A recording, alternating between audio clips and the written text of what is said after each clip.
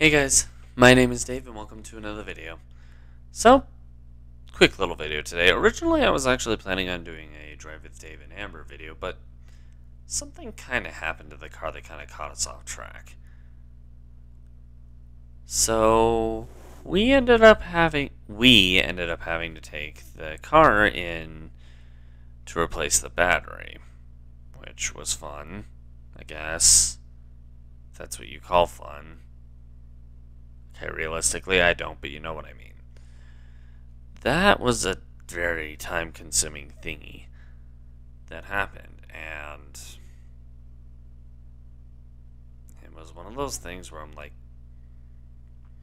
we go through it, I'm thinking, oh, jeez. Well, it, it got so sidetracking to the point where we completely didn't end up doing the Drive with Dave and Amber video. I don't think I ended up approaching Amber about it either. Um, they're still going to come, but uh, reality gets in the way of a lot of things, and it's kind of annoying at times.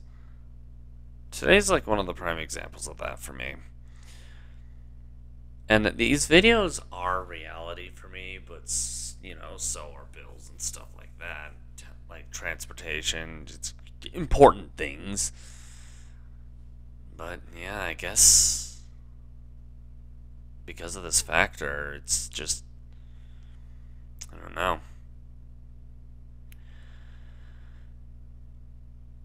I guess it's gotten to the point where like it, it it's hard to insert a lot of things that you want to do.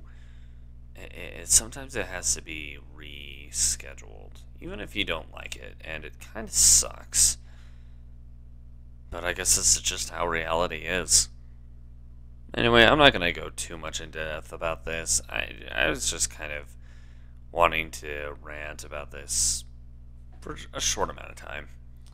Anyways, thanks for tuning in, guys. I don't know.